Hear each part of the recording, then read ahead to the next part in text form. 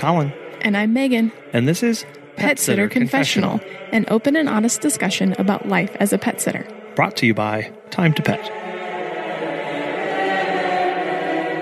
Hello, and welcome back. When I say marketing, what comes to mind? Fun, exciting, or terrifying? And black box unknown mystery well, today we're so thankful and happy to have Jane Harrell, owner of Cause Digital Marketing, on to break down all of the barriers. She talks about some of the market forces that drive the pet industry and how we, as business owners, can make sure we're putting out the right things to get the customers and the clients that we want. Let's get started. First, Colin, thank you so much for having me. Uh, it is such an honor to be here on Pet Sitter Confessional and such a fun place to be, be chatting with other petpreneurs. I'm Jane Harrell, and I am president and founder of Cause Digital Marketing, as well as co owner of WorkingWithDog.com. Meaning, I am typically working with a team of marketing professionals to decode the the dark mystic arts of marketing for pet professionals make it approachable and really focus on what actually works for this very different segment and different industry. One of the things i am always talking about is as a petpreneur we are not selling coca-cola. We are not out there talking and trying to sell some product that people don't need. In fact we have a very different relationship to our customers and what they need from us. So we work on identifying what that is for this industry and then translating that for small businesses as well as the multi million and multi billion dollar businesses.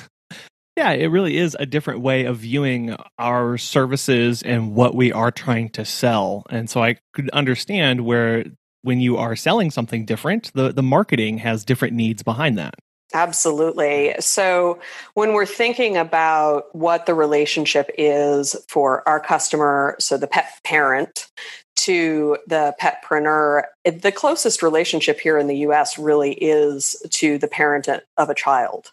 You know, we are catering and taking care of someone that they 94% of pet parents view them as part of the family and there is even this evolution of um, going from kind of pet owner where the pet is almost seen as a um, as an inanimate object to be owned through guardian through okay you know this is um, a being that enhances my life and i enhance their life and we have this partnership on the road together and to try to speak to that and gain the trust of a pet parent is really really critical in being successful petpreneurs. You know if the pet parent sees us talking about dogs as just you know inanimate objects well we know inherently that is not going to work. But unfortunately a lot of marketing tactics and a lot of mar- marketing quote best practices kind of put marketing in that bucket. And uh, here at Cause Digital Marketing, as well as working with Dog, we're we're debunking that and saying, okay, instead, this is actually what works for for petpreneurs these days. Part of that is understanding where you fall on that spectrum, but as you've been mm-hmm. talking about, more importantly, where your clients fall on that spectrum, and make sure that there's no crosstalk going on there between the two.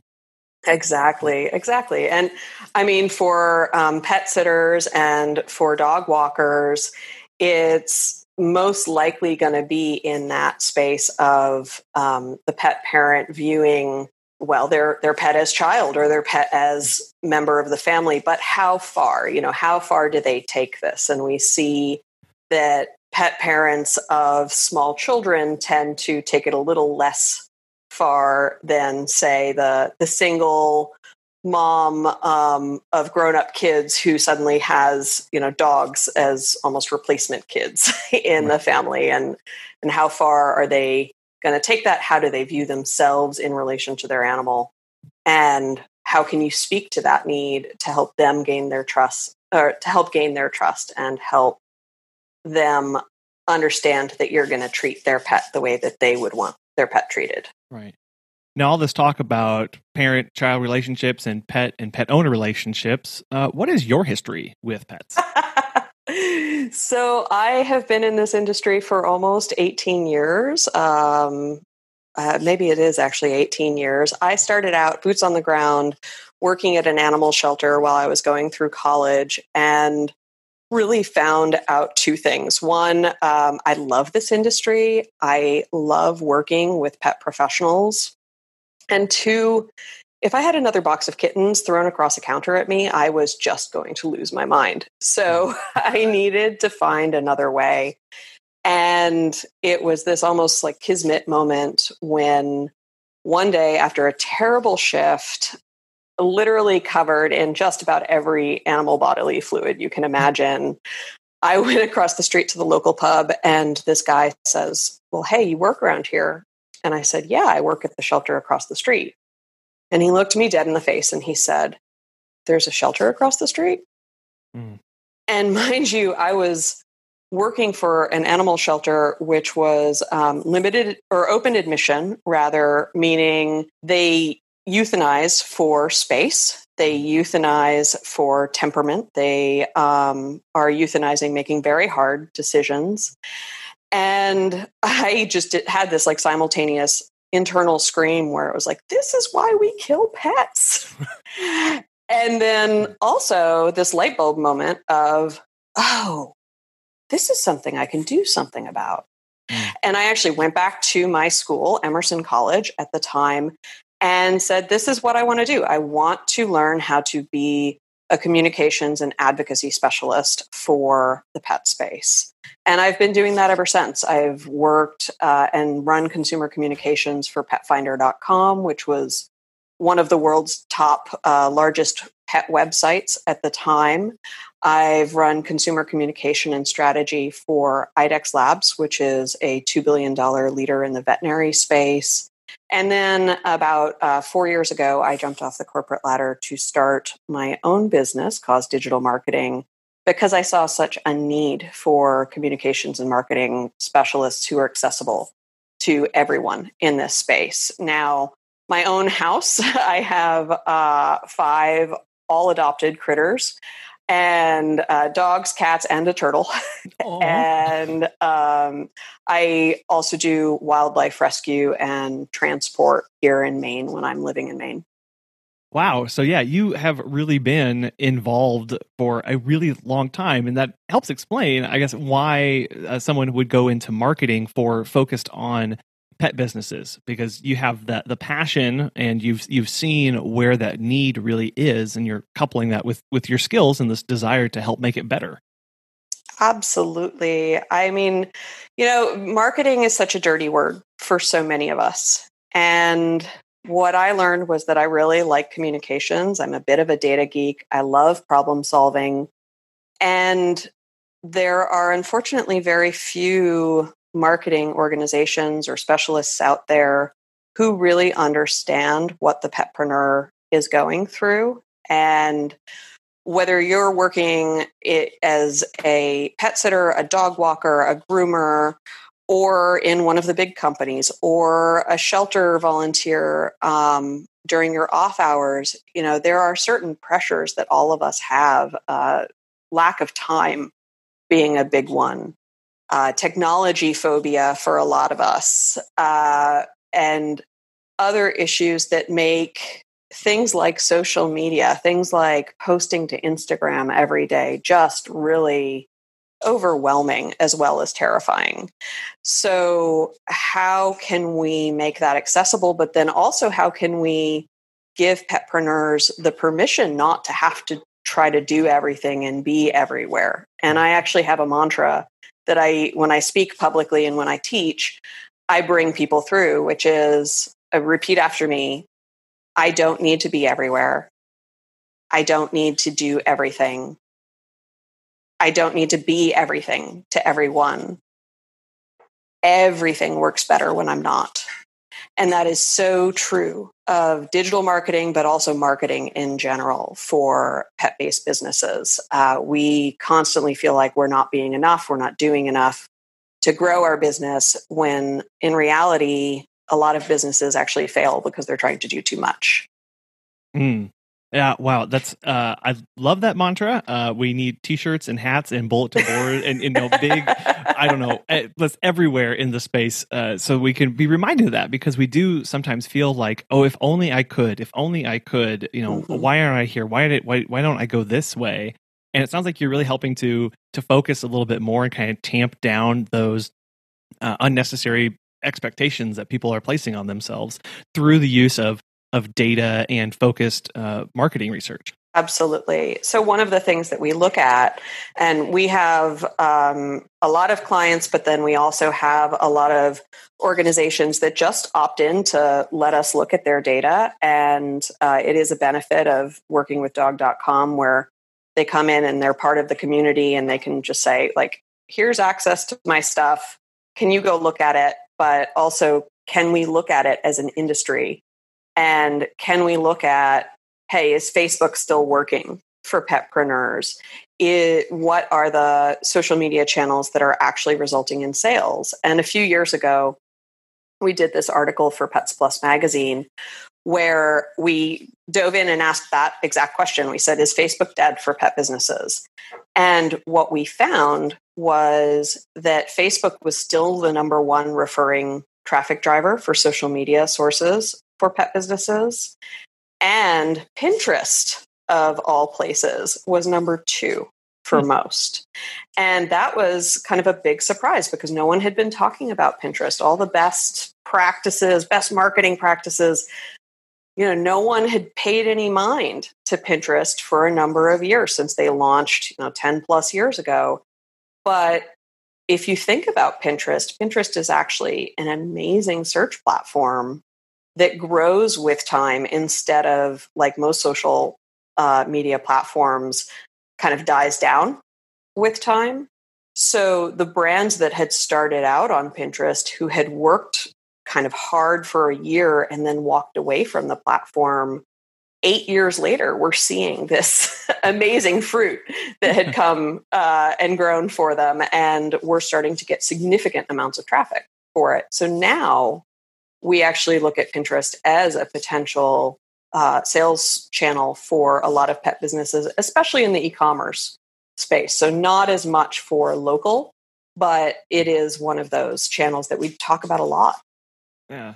And just showing how things change over time, and you never quite know you know what's going to be the next thing uh, exactly. so so having some help along the way is nice um, i did want to touch on your your tagline uh, that you have. It's it's helping pet and socially focused businesses profit and change the world at the same time.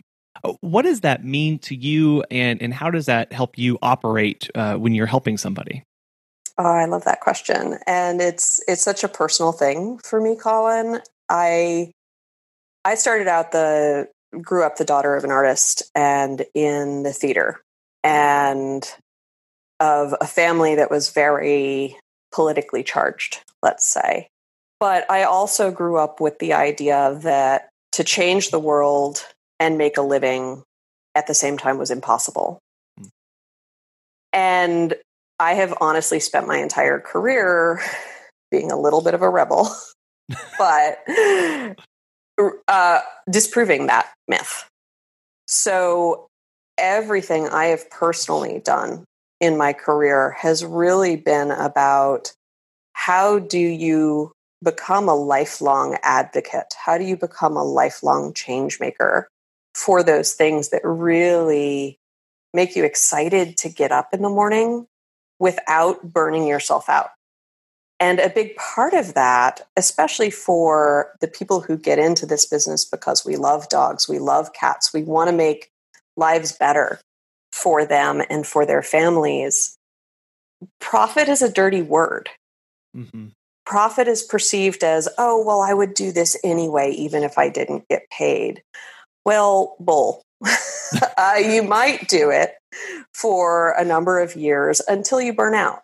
And the, the truth is that a lot of advocates, a lot of people who start heart based businesses do burn out because they don't look at the revenue side. They don't look at the profitability and the sustainability or scalability of their business in a real way. So, one of the ways that, especially my personal coaching clients, I, I work with and help petpreneurs is we focus on that revenue bit, take the fear away, really dive into the numbers, and look at how do you actually make a bigger change by helping yourself make profit and helping yourself be able to retire one day or buy a home or send your kids to college. Wow, these are novel uh, concepts, but it is true. And the the reason why I started getting so passionate about that was that when I was just my first few years in the industry,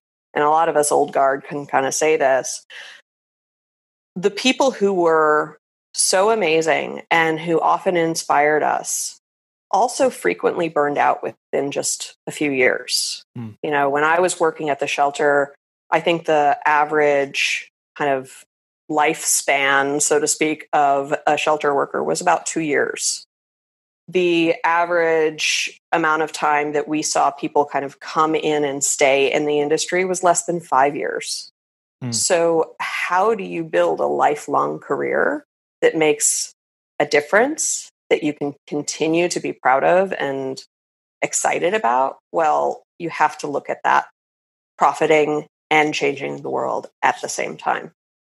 Yeah, and as you mentioned, it is such a dirty word because we feel like, as you said, like, oh, I don't, I don't really want to get paid for this. I just want to do my passion. Well, mm-hmm. if you're mm-hmm. not making money, you can't do your passion for the long run, right? You can't retire doing that if you're not making money. And it's the passionate people that we want to see in the industry for the longest right? Because absolutely, th- th- they're the ones. You know, it might not feel like you are changing the, the the global world, but you are changing the world of the dog that you're walking when you're consistent and you're able to show up and do that day in and day out. And so, being able to link these two together is something that a lot of people do struggle with, and is something that you know I, that conversation needs to be be had more and more. Absolutely. And it also starts spurring petpreneurs to start thinking a little bit bigger sometimes. Like one thing that I hear a lot is, well, I, I only need to make enough to pay myself, or I don't really need to pay myself very much. And then usually when someone says that to me, I say, okay, well, what happens if you got hit by a bus tomorrow? Yeah. What happens to your business? What happens to the change that you're making in the world. If you are helping these pets, helping these pet parents, how do you make sure they're covered? And this is something that I've actually had happen. My my dog walker and pet sitter got into a terrible car crash. And because she was a solopreneur at the time, she had no backup.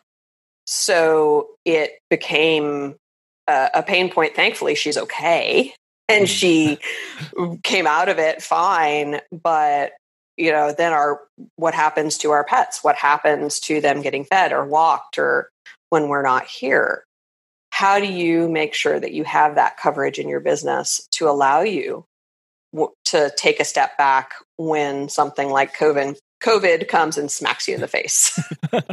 Yeah and i think from the the solar uh, petpreneur's perspective a lot of times when we talk about what's your backup they immediately think of their backup sitter or their backup care provider. But it's really like, what's the backup for you as an mm-hmm. individual? That it, this is really getting at the heart of when you start talking about how you're running, operating your business, what kind of data you're looking at and managing and charging what you need to.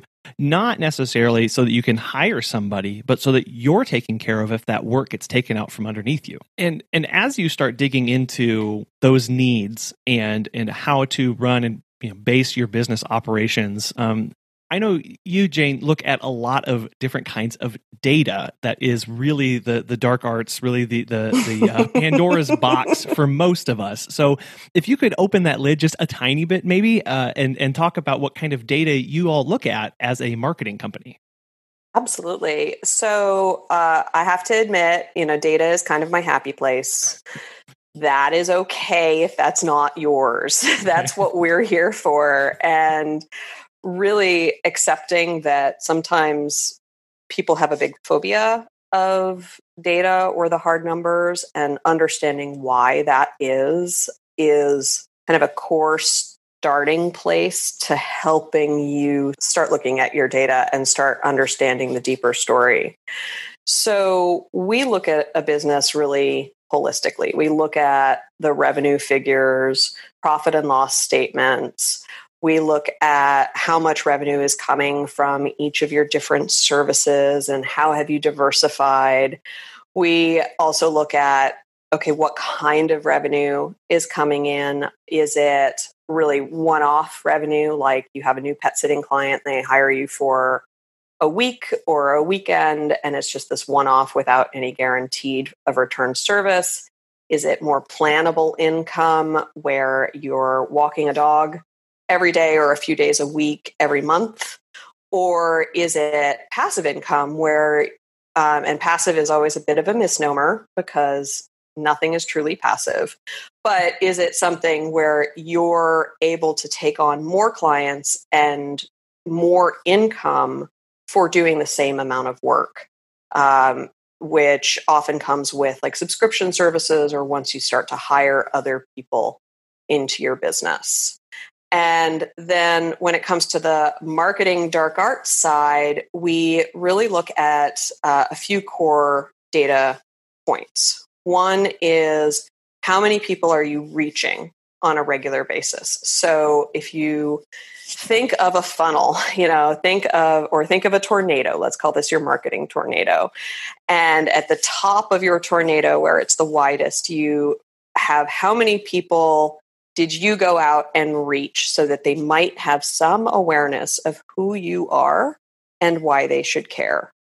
And then as they get drawn down deeper into your tornado, then they reach this place of nurturing and trust. And those are the people who you have regular communications with. Maybe they follow your newsletter, maybe they follow you on social media, or maybe they're part of a larger network that you some somehow impact like if you write a local column on pets for your local town uh, how many people are you reaching there and then for the lowest part of the funnel, right before you get into the eye of the storm or the sweet spot, how are you converting and getting people off the fence to actually buy now. So, what is the point of purchase and where are people looking at there?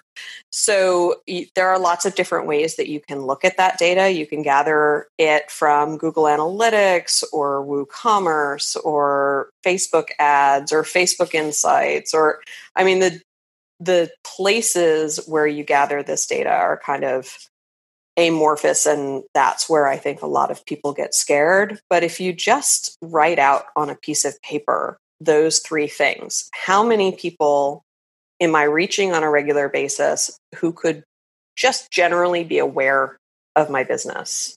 And then how many people am i nurturing a relationship with meaning i am building trust with them? And then how many people are actually encountering some kind of uh, sales pressure or awareness of a specific sale or offering. So, how many people are looking at my pricing pages? How many people are getting or opening my emails about a special I might have?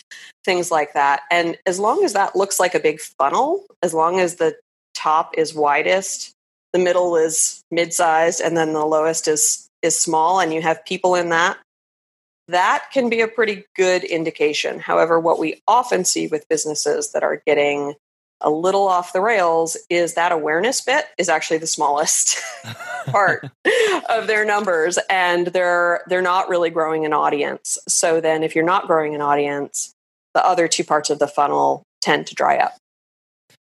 Right, and because you have you want the largest uh, possible reach for for what you're trying to accomplish because there are these different you know it, it is a funnel is a tornado which i like that analogy because it does feel like a, a wild and crazy thing that kind of sometimes feels like has a mind of its own but is relatively predictable i'm sure um, mm-hmm. you know you have different conversion rates as you move through and down to right before they they get off the fence as you said and and decide to go with you and what it sounds like is that once you can understand where your audience is, where your clients are within that, you can begin to shift and change how you're communicating and what your materials look like and, and how you're reaching them. Absolutely. So, if, for example, you find, oh, I'm reaching a lot of people, I, I have a big network of people who are aware of my business or coming in contact with my business, but then no one's signing up for my newsletter or no one's actually seeing my social media communications. That's a big problem too. So instead of having to think about, oh, well, how do I do a sales promotion or how do I get more eyeballs? You can think about, oh, how do I provide, say, a regular monthly newsletter that really solves a problem for my potential customers. And I'm someone, you know, I talk to people about newsletters all the time. Everyone cringes, so do I, because who wants another email in our inbox, right? It's one of those things that we all hate getting. Right. But uh, one of the philosophies that I take and that I bring to this and suggest for everyone is thinking about how can your newsletter really solve a problem that or or create a bliss point for your potential customer that they want to get. So your newsletter is no longer about you. It's no longer about what you're doing or the cute dog of the week that you walked or the cute cat that, you know, rolled on their back and let you rub their belly without scratching. It, it's not about that. It's about how can you help them be better pet parents or enjoy their lives with pets even more. So instead, is it kind of hot tips that only you or a pet professional would know about living with pets in your location? So is it like here are the the top pet friendly events each month and that's your newsletter? Or is it something where you're talking about here are the top things that I'm seeing impact pets in our area, and it's almost a safety alert that's local to your area. The wonderful thing that pet uh, sitters and dog walkers have is a lot of local knowledge mm. and a lot of local touch points of pets in their area. So they can talk about these things to pet parents in a very real way.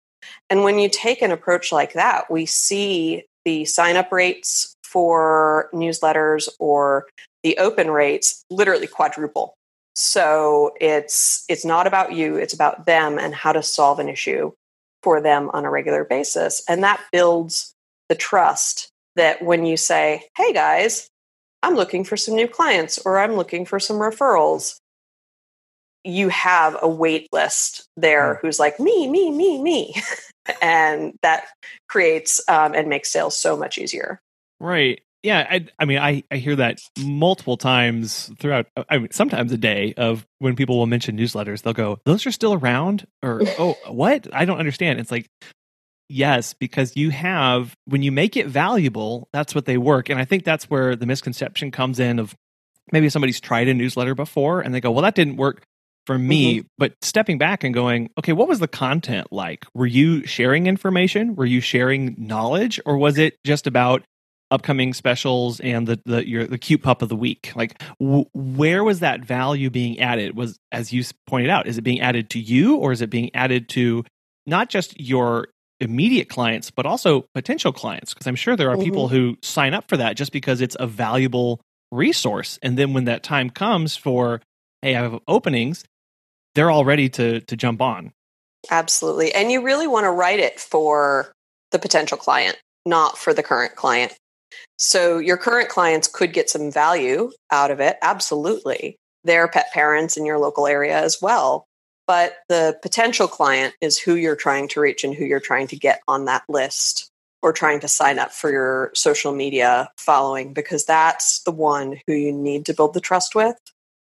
And you need to help them feel like, oh, it's going to be okay if I leave Fido or uh, Frida with you it's going to be I know that my house is going to be taken care of. I know that my pet is going to be happy and balanced when I come back home, and I'm not going to have a huge mess to clean up either physically or emotionally.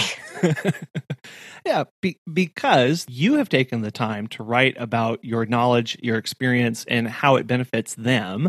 Mm-hmm. And so they get that chance to get to know you because that's a, a big, you know, you mentioned earlier the, the trust between mm-hmm. the pet parent and the the pet care professional has to be immense before they decide to to jump. They, there has to be something inherent that they believe, they trust, they sense.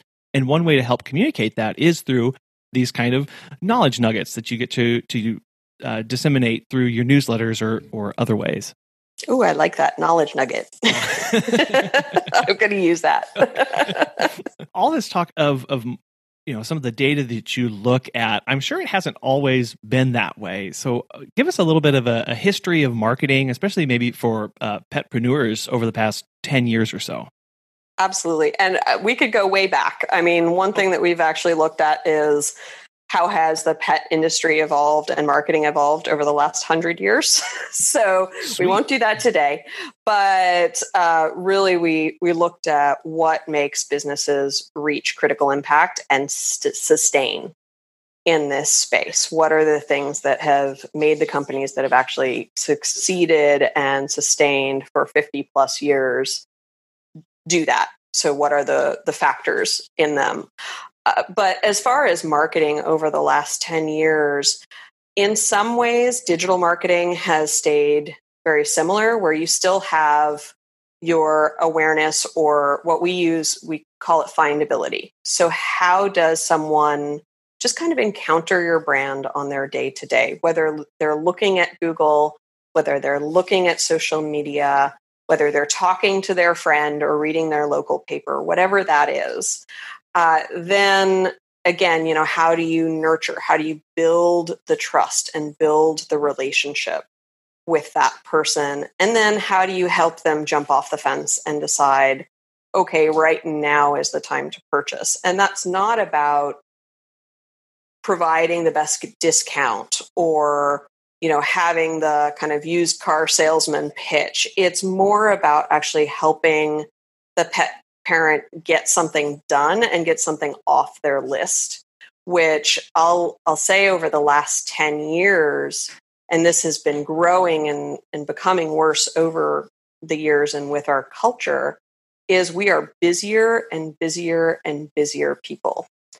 And the consumer the pet parent is living in this state of kind of perpetual overwhelm where it, one marketing study looked at how many marketing messages we get in a day, and it was over 3,000 marketing messages every single day. And that was several years ago. So it's only gotten worse. And now with COVID, for example, you know, we're not only trying to live our daily lives and work and do our jobs and do everything, but we're also homeschooling teachers and we're tech professionals because we don't have the tech person from the office to come fix something when it goes wrong. And you know we're we're just adding and adding and adding. So really for marketing in the last 10 years one of the biggest things that has changed is this just constant state of overwhelm in the consumer and constant state of anxiety just low grade perpetual anxiety in our society. It's gotten so bad that uh, overwork or what's it called, burnout, mm-hmm. is actually a clinical diagnosis now. Mm. And that's just been true over the last year and a half, I believe. So, in thinking about your marketing communications, really making things very simple, very clear, and very easy to complete are more important than ever the channels, the uh, ways that you do this. It's funny. I actually, when I was in school, I learned that there were only nine major marketing strategies, and now there's about 12. Hmm. So there have been a few that have been added as the digital space has evolved. But what's really evolved is this state of overwhelm in the consumer. So thinking about how do you make things really clear, how do you get their attention really fast and then how do you make it really easy for them to complete something quickly is what's most important now you have a principle that's called uh, sustainable respect for change makers. How do you define this, and um, how does it apply to uh, a business owner? I love that. Uh, so, sustainable respect is a core principle here at Cause Digital Marketing. And the idea there is very simple it's how do you cre- create a relationship that lasts a lifetime?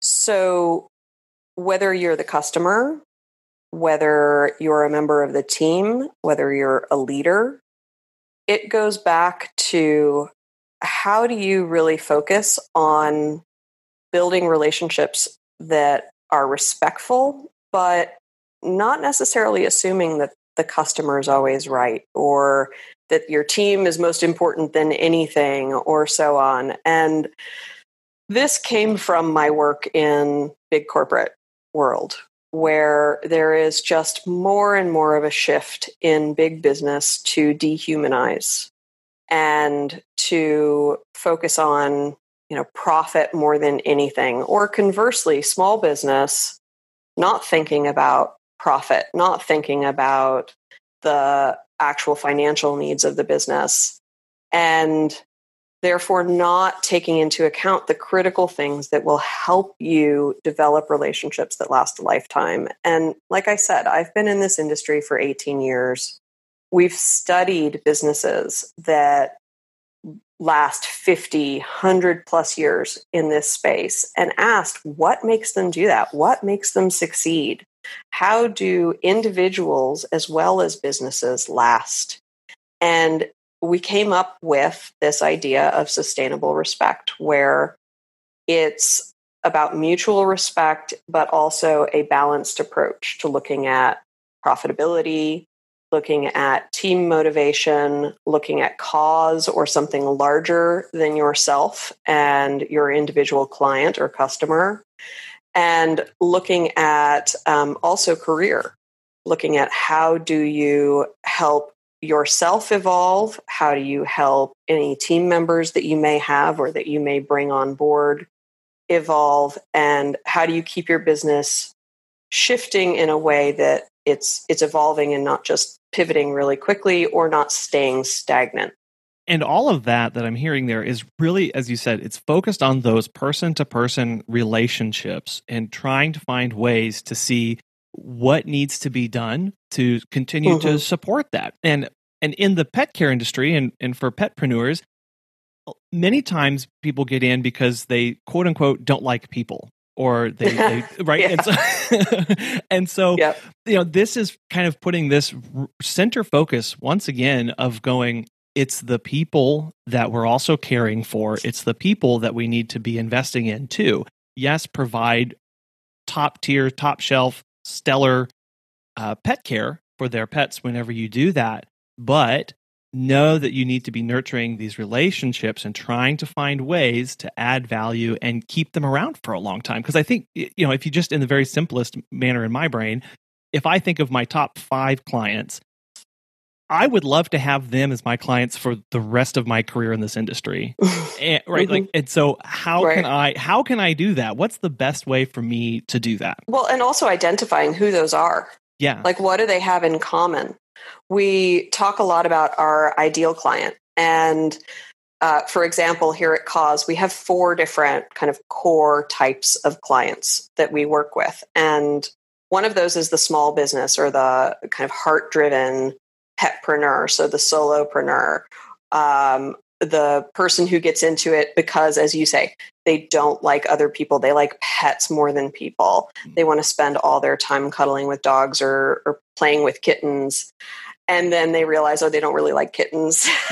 and I love kittens, I, I joke, but um, that actually running a, a, pet business has a lot more to do with human relationships mm-hmm. than they ever thought. And really diving in, understanding who are those people that you love working with? Who are the people that feed your soul? Like this was a market that feeds my soul and that I was desperately missing working with when I was last at my last corporate job um, in the big veterinary company where I wasn't able to work with those sol- solopreneurs and I really missed it and was having a hard time getting up in the morning because of that. So I changed my business, I changed my sense of identity, and I jumped off the whole corporate ladder to do that. How do you shift your business in a way that allows you to work with those clients that feed your soul, that um, not only keeps the sustainable respect going with them, but mm. then also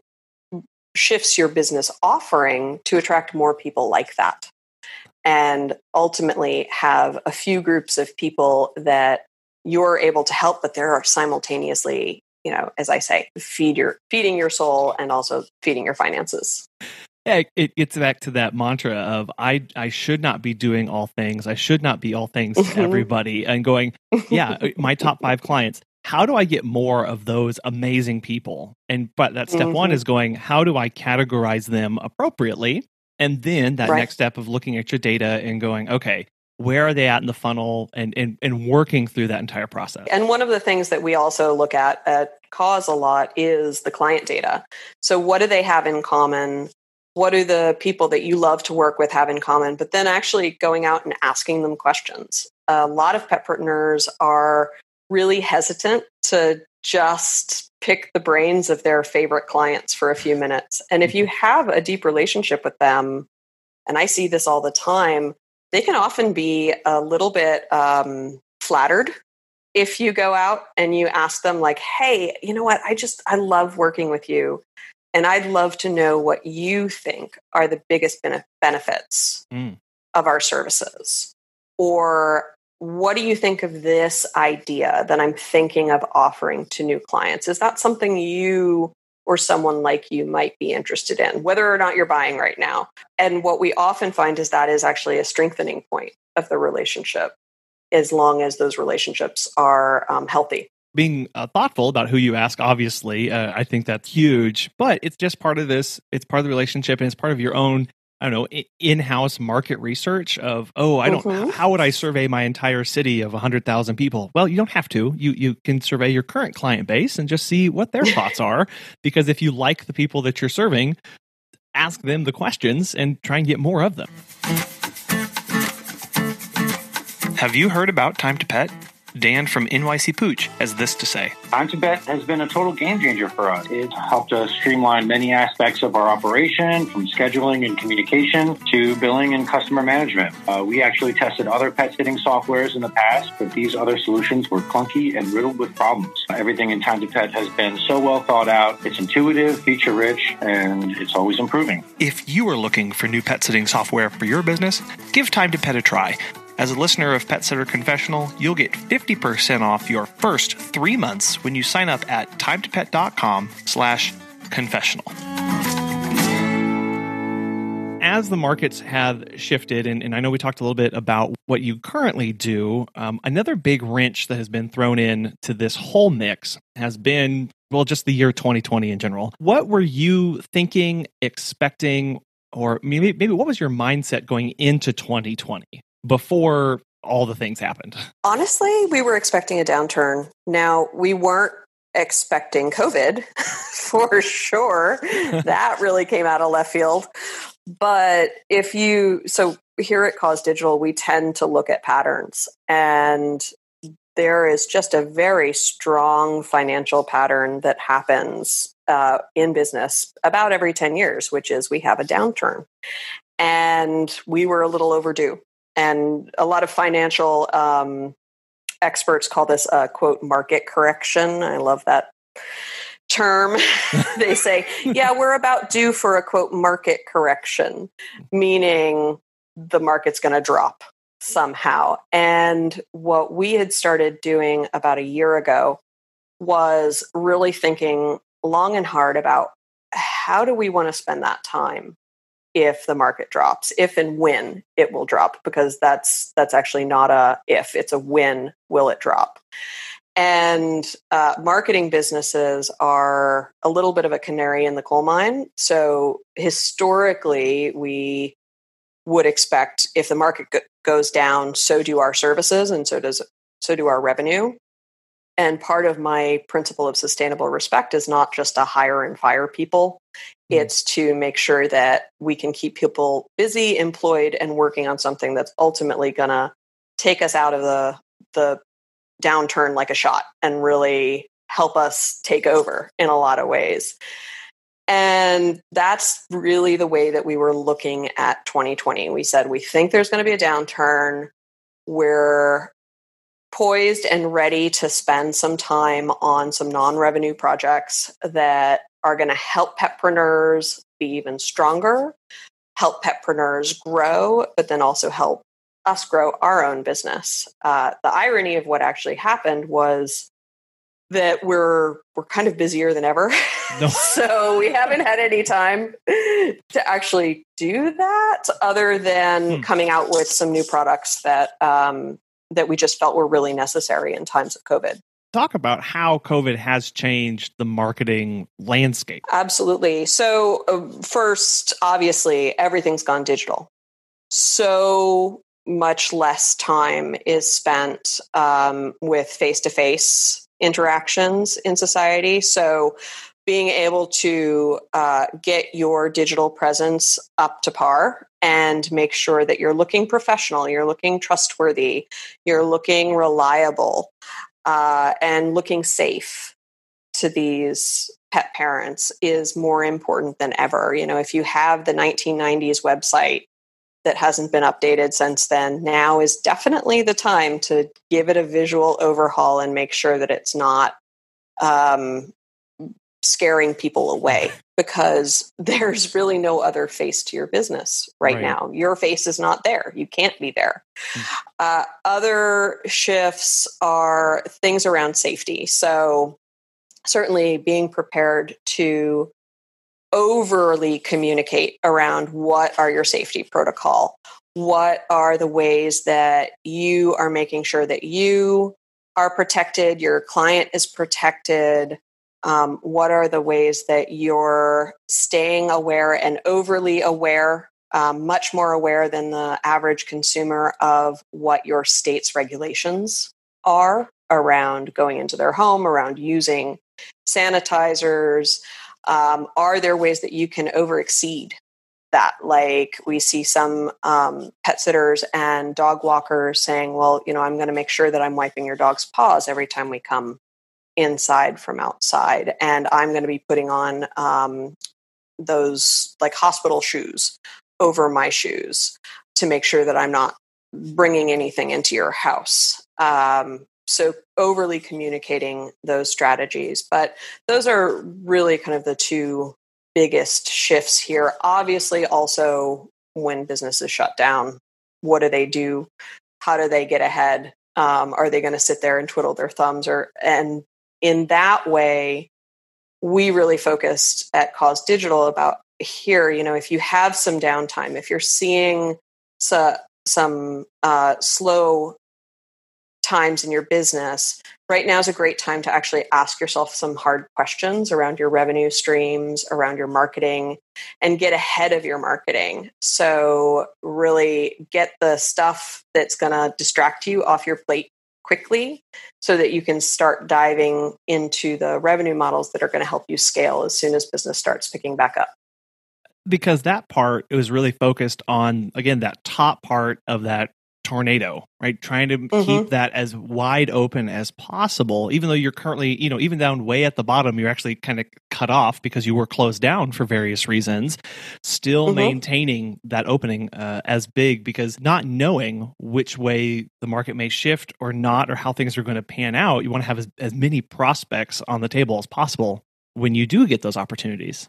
I think you touched on it as far as uh, marketing face to face, but what other things just maybe aren't working anymore for for marketing our our business? Well, if we're thinking about social media, uh, organic social media is really tough these days and uh, folks who used to be you know used to enjoy the golden days of facebook they definitely noticed this but even the golden days of instagram or you know um, way back when twitter organic interaction on most of those platforms is very low these days. So thinking about how do you put in a little bit of money into advertising your business is um, probably necessary if that's going to be uh, a big part of the top of your funnel. If you're if that's the entry point to your tornado, then you need to make sure that you're actually getting eyeballs.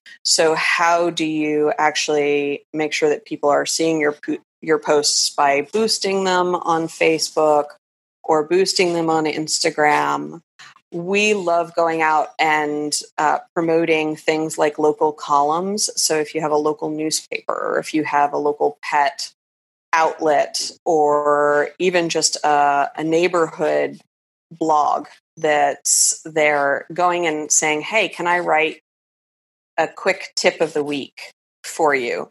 And that can literally be like three sentences, but it's, you know, here's your pet tip of the week. And it's not as big and scary as a, a blog, for example, or oh my gosh, you know, a vlog, a video blog.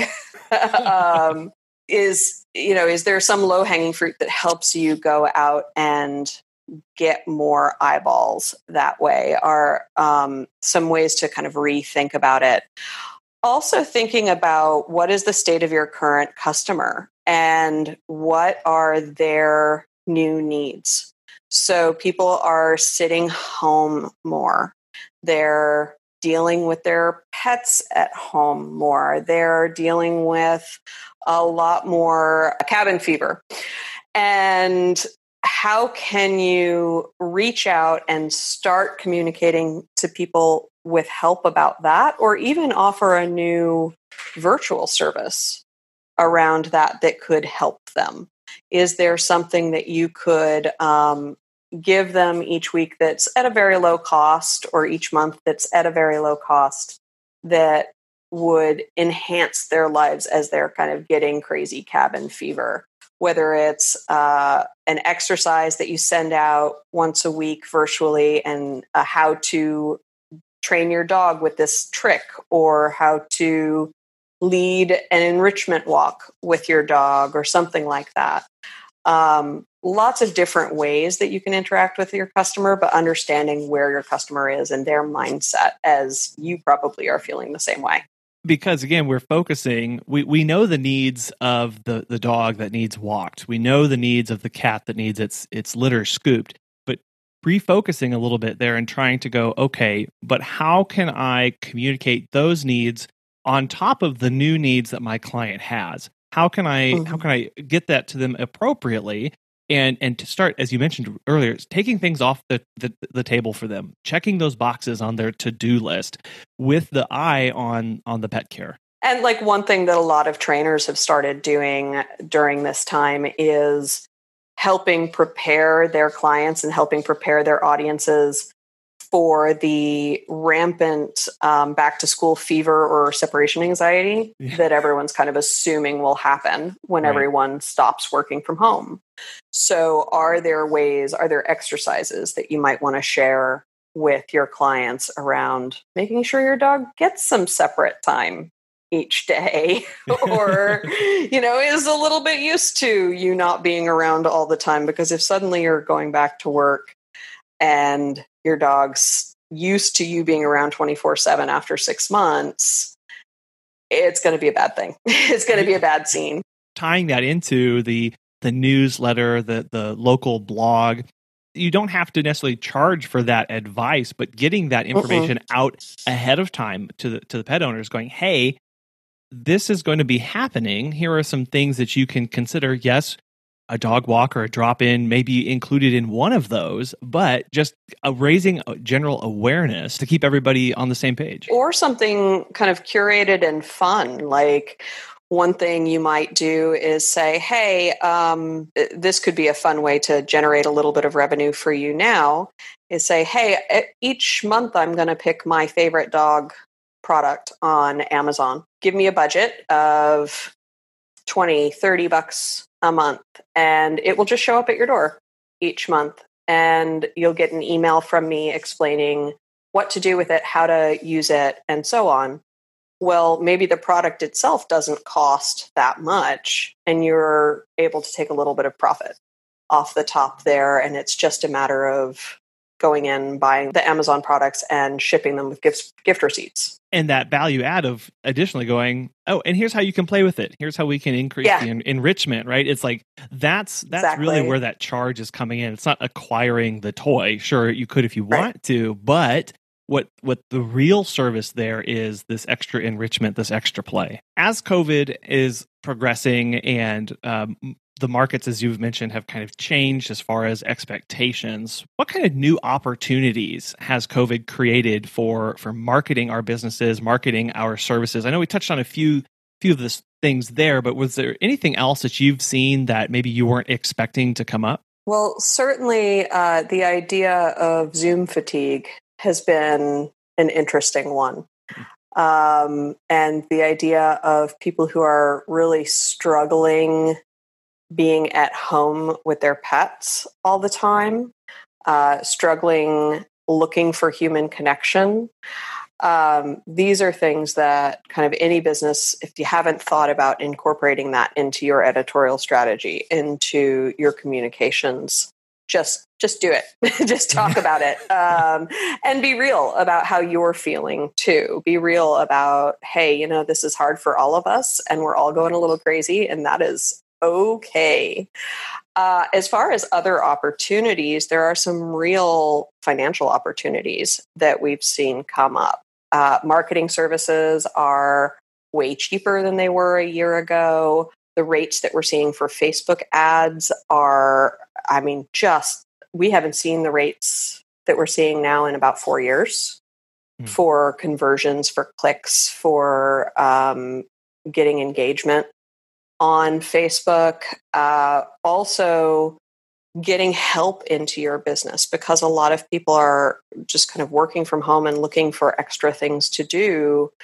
They're also um, looking for kind of new things to do. A lot of people are rethinking their businesses right now or rethinking their lifestyles right now. So now's a good time to kind of catch those people and bring them in and have them help you if you want. And then kind of lastly, uh, thinking about your own business, how can you shift it and how can you spend a little bit of extra time? You know, one thing that you consistently see with people who come, and this is from Harvard Business Review, by the way, people who look at a downturn and business owners who not only survive but thrive through economic downturns one thing that they consistently see is the opportunity of time.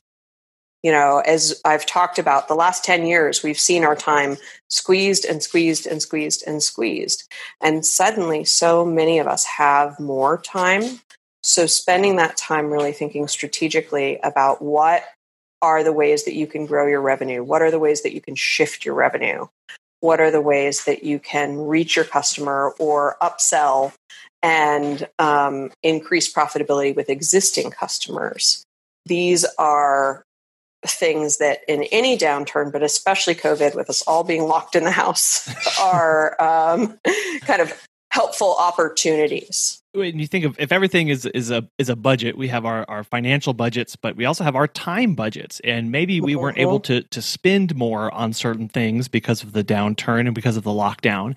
But we could spend our time on certain things and really viewing those as both valuable and both equally necessary and finite resources you, really start to see okay how can i spend this better to get the most bang for my my time dollars and then I, I I did want to touch on other opportunities or maybe changing in marketing around the, the pet care industry in regards to recent conversations around uh, civil rights and racism in in the U.S. and across the globe. As you're doing market research and, and these kind of and looking into data, how are you seeing that conversation play or translate into marketing for pet care? I love this question, and I'm getting it a lot these days because I. I guess you name your business cause digital marketing and that's what you get, right? Yeah. but um, what's very interesting about the pet space and about 90% of our business is in the pet space we do work in other social justice um, childhood education and, and other issues, uh, including kind of racial issues. But one of the interesting things about the pet industry is that about two thirds of US families have pets, or US households have pets. And when you're thinking about an industry, really think about how many people and how many diverse cultures and diverse socioeconomic backgrounds and diverse political opinions you're touching when you're talking about two out of every three households. So, as a petpreneur, you very likely have people who are your clients who have very different worldviews than you. So, when you're thinking about your business and when you're thinking about and perhaps getting very incensed about um, how you're seeing the world going, how you want to get involved, and how you want to use your platform that you've grown to do so, really think about what's going to be good for the long term health of both your your business and your heart. Mm. So is this one thing I always ask clients is this a core competency of your business? Does this issue deeply affect you, members of your team, or members of your direct community? If so, consider how to raise up those voices, the people who are impacted. Consider how to feature. Do always recommend that if you're wading into perhaps controversial waters as a brand, it's a good idea to make sure that you really do understand all the different angles. So, going and talking to everyone, and not all advocates, I'll be very upfront, not all advocates believe this. Some advocates, you know, say, you know what, there are just some people who are so close minded and so um, prejudice, actually, that it doesn't help to understand their perspective. But I disagree.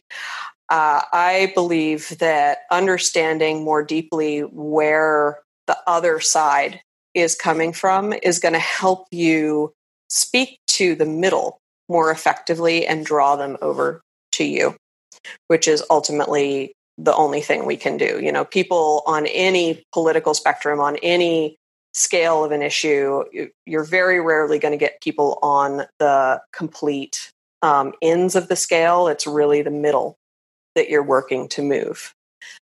So if you're thinking about moving that, if you're thinking about wading into those waters, consider is it core to your business? Is it core to you?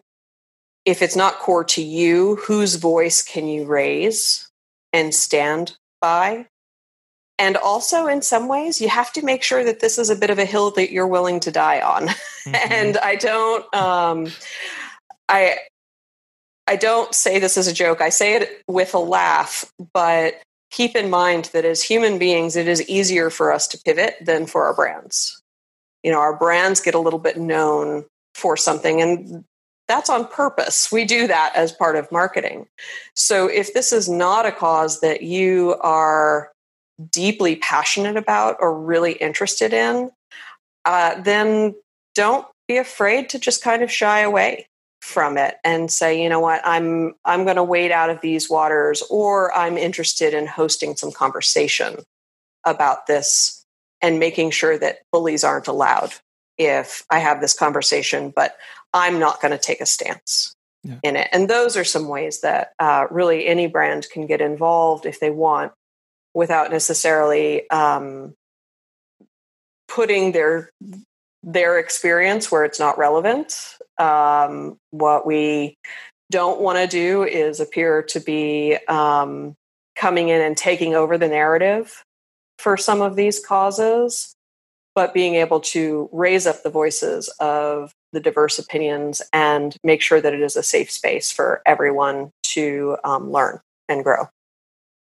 So, one thing that's really important to remember, which is unfortunately very easy to forget sometimes, is that the ability to choose whether to engage in a social movement or in some kind of political movement is a privilege in an, in and of itself. Not everyone, not every petpreneur, not every individual really has the ability to opt outside of those discuss- discussions or discourse.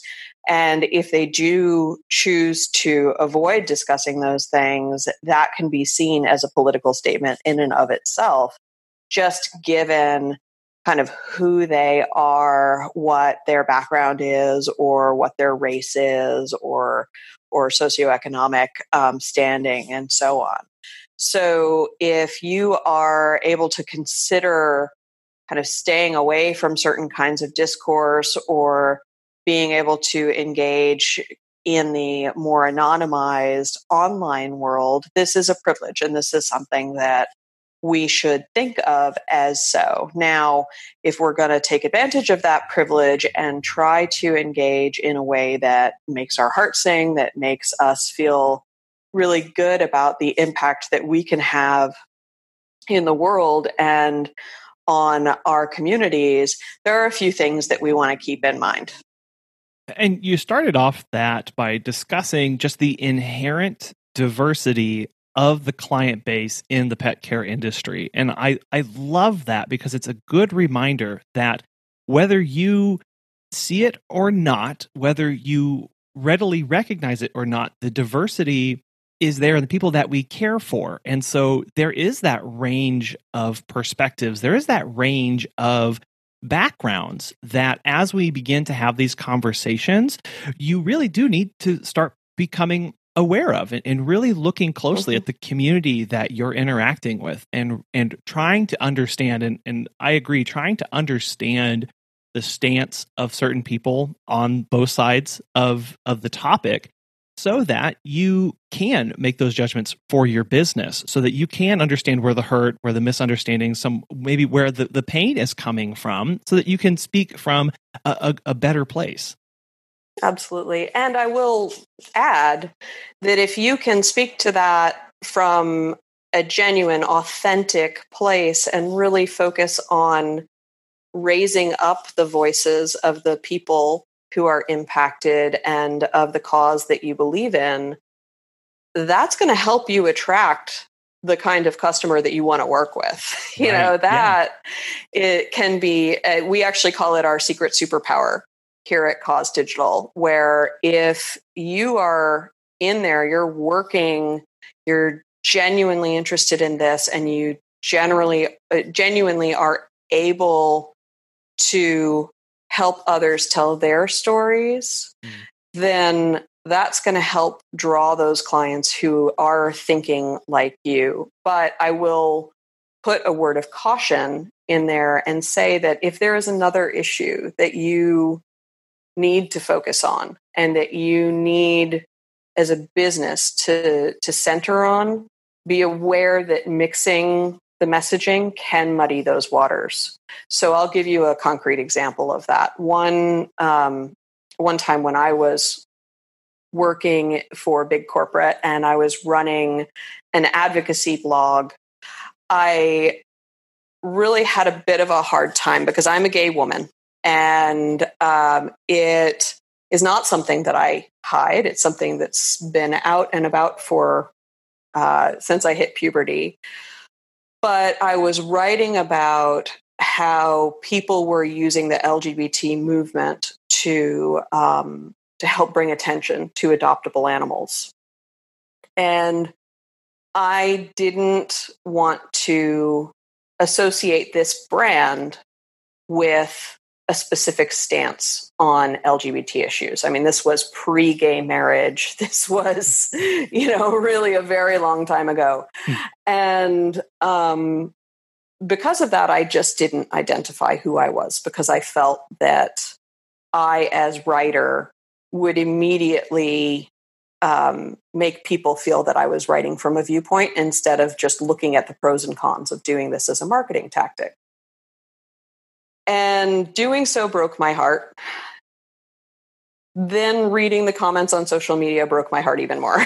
Mm. and, you know, it was a very hard thing to do to just kind of keep myself and my personal stance, which I very vocally believe in in my personal life, um, quiet, but because I was working for a larger organization, I was not the owner of this organization. I did not have the choice to be able to really go in and and advocate for this as a great marketing tactic. So I could have lost my job had I done that, and um, it's something that you know if even if you are the business owner and something that you can personally make the decision on right there. Make sure it's something that, as I said, it's a hill you're willing to die on. It's something that you really believe in and are willing to continue to fight for over time. Don't um, don't just jump in and then jump out.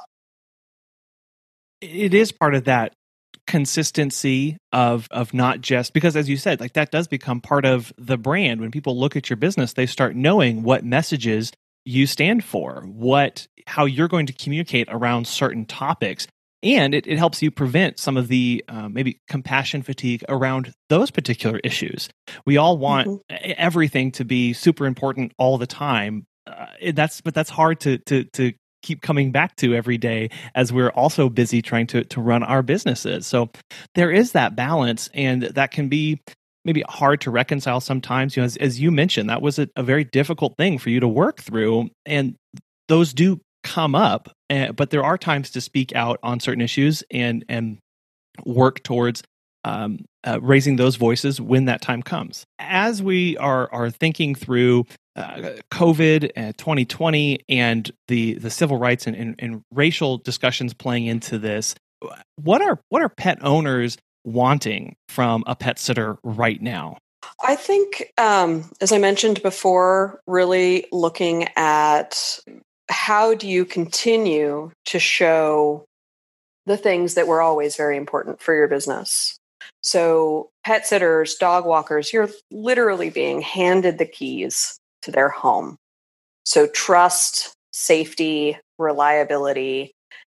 This is a lot of uncertainty uh, a lot of fear, a lot of high anxiety um, is just pervasive in the culture right now. So, any of these three aspects that were already important for a pet sitter to constantly exude are even more important. Hmm. So, thinking about how do you again go the distance in over communicating why you're trustworthy, why you really have high safety standards and why and how you are so reliable is um, core to what clients are looking for. And then uh, continuing to be kind of the dog or uh, cat geek of, of your community, you know, and I use that as a very loving term.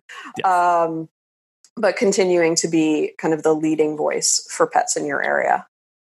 A reminder that sometimes the the basics i mean the basics are basic for a reason is that they never go away and that they become heightened in areas at times especially right now where people are looking for mm-hmm. more assurance more consistency of of care and communication coming from us the business owner exactly and then kind of finally here um, i know you guys have your secret crystal ball that you keep in your basement um, which is really cool.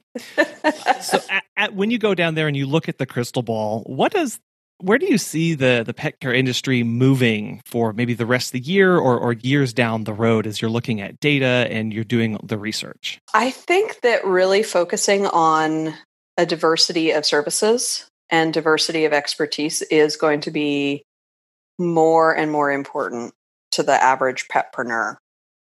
As we talked about earlier, the pet parent is overwhelmed, is constantly trying to do everything, trying to get everywhere, trying to be everything.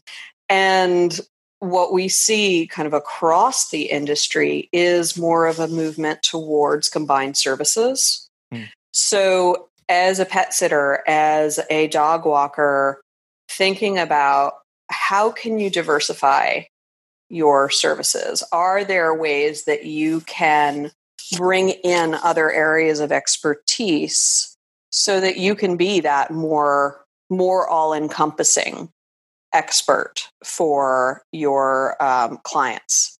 Is there some way that you could bring a mobile groomer into the business or partner with a mobile groomer so you have someone that you work with on a regular basis and who you can recommend and who then you cross sell for each other is there some way that you can partner up with a holistic vet- veterinarian in your area?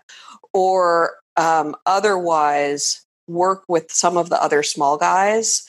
Because as we've seen more and more and more through the big retailers is a shift towards centralization of services where they are now offering veterinary, grooming, boarding, and training all under the same roof.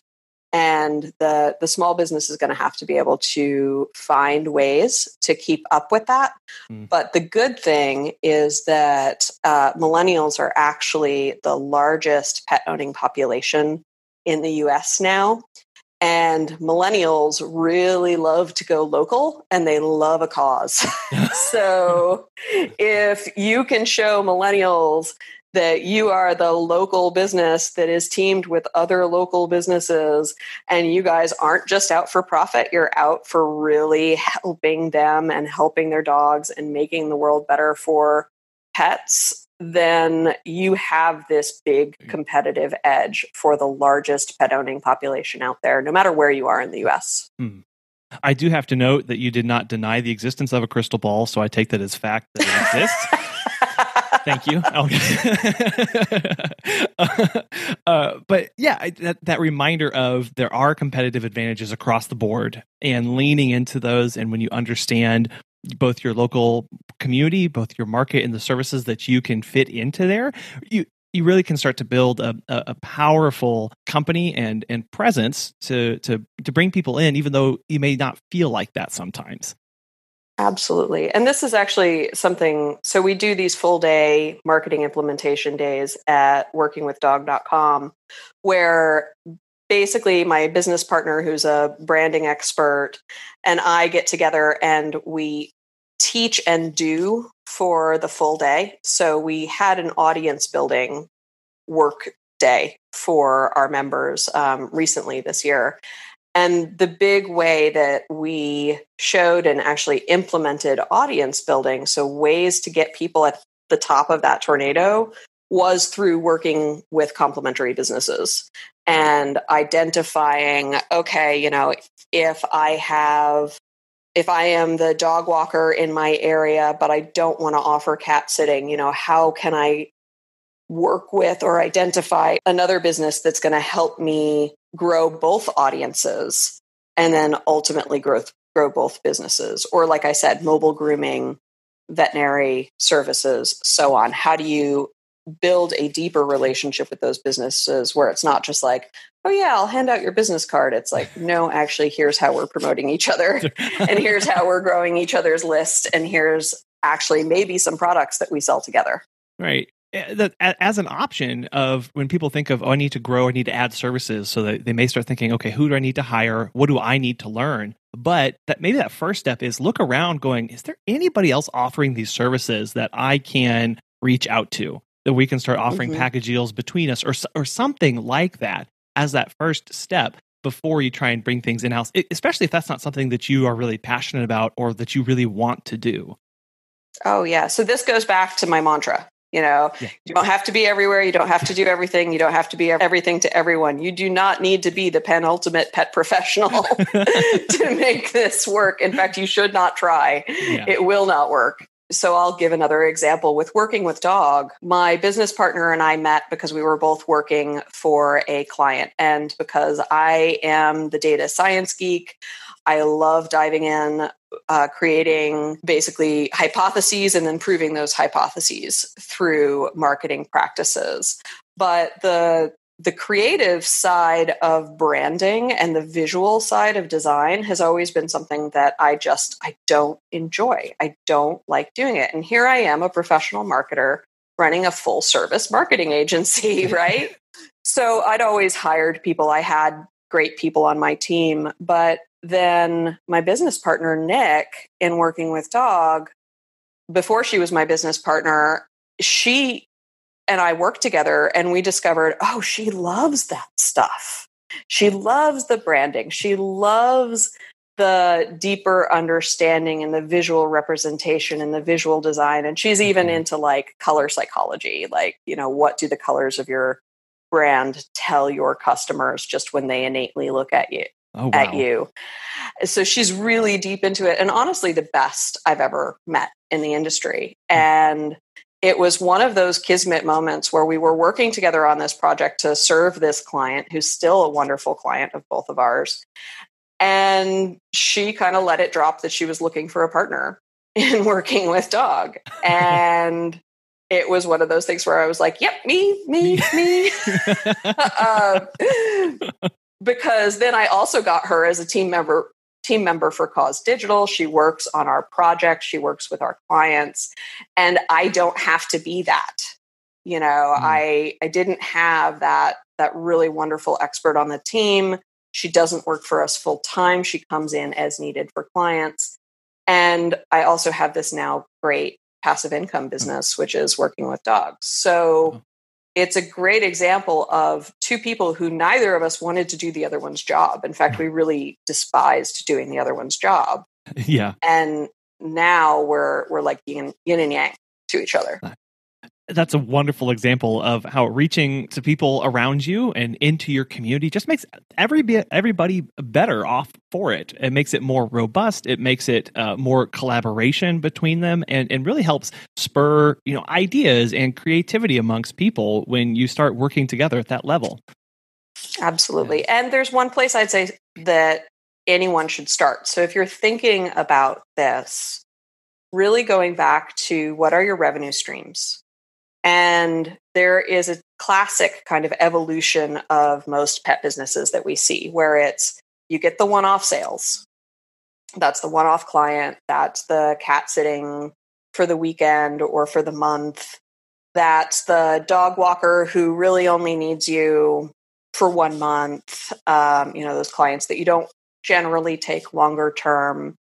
And those sales are typically easiest for any pet business to get. But the problem with them is that they come and go real fast. They it's like the constant feast or famine or roller coaster of it's either the holidays and you are slammed or it's you know back to school and it's crickets. Mhm. Um, so then the next evolution is really thinking about that plannable income, where it's how do you build some recurring revenue into your business? And as I said, that's fairly easy if dog walking services are something that you also offer. But even with dog walking, there are ways to package your dog walking services. There are ways to package your pet sitting services so that you're able to start bringing in that recur- recurring revenue and plannable revenue so that actually when you look three six months out you can project okay i'm probably going to bring in this amount of money over that time wow suddenly i'm a lot more comfortable in hiring someone Hmm. and expanding my business because if you're constantly in that feast or famine space when you're in feast, you're too busy to hire anyone. When you're in famine, you're too poor to hire anyone. So the plannable and recurring revenue really stabilizes your business and makes it possible for you to start expanding. And then the last stage is where, as I said, the driving to passive revenue or driving to revenue that you don't physically have to exchange dollars for hours to get and it's scalable, meaning you can bring in more people for uh, and more money for the same amount of your time spent. And we actually um, created a workbook based on seeing this need and working with a lot of pet professionals, especially dog walkers and pet sitters. And we created a free workbook, which is available to you guys at causedigitalmarketing.com forward slash revenue so again, causedigitalmarketing.com forward slash revenue. And it is a juicy 22 page checklist workbook of how to start thinking about these three stages of revenue in your business and understanding what's missing and how to start brainstorming especially as you're thinking about partnerships, as you're thinking about spending a little bit more time on growing, since you have a little bit more time right now, um, this is a great way to spend that brain space and start planning how you're going to come out with um, the next thing that's going to stabilize your business. And I'll have a link to that in the show notes of this episode, as well as on our website for this episode, so people can go and click there and, and find it really fast. That sounds like a, a really cool and great resource. Jane, I want to thank you so much for coming on today and, and sharing about some of the history of marketing and some moves that we can all be making and thinking about maybe a little bit differently as we see a new landscape appearing before us and and how to really get on the right foot. But i know that we've probably only touched on the very very surface of this whole topic. Um, and so if people would like to reach out get in touch with you get access to that crystal ball um, how can they best do that absolutely they can reach me at causedigitalmarketing.com or check out our community specifically of marketing resources, templates, and marketing genius uh, at workingwithdog.com. I do suggest going and just checking out that revenue workbook, whether you are just thinking about starting your pet business or whether you're already years and millions of dollars in.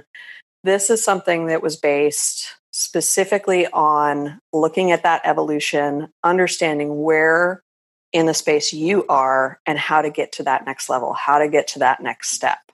And um, if you do nothing else today, definitely just go check that out. And that's causedigitalmarketing.com forward slash revenue. And I will be there. You can reach out. Uh, we do offer a free 15 minute brainstorm with our senior strategists. So if there's more about your business you'd like to brainstorm together, we can do that as well. Appreciate that. That'll be great. Jane, it's been a real pleasure. Thank you so much once again. Thank you so much, Colin. I love it. It's been so great being a guest, and I am honored that you asked. Find more information about Jane and Cause Digital Marketing, check out the show notes or go to our website, petsitterconfessional.com. There you'll find this episode and all of our previous episodes as well. We'd like to thank our friends at Time to Pet for making this show and this entire podcast possible.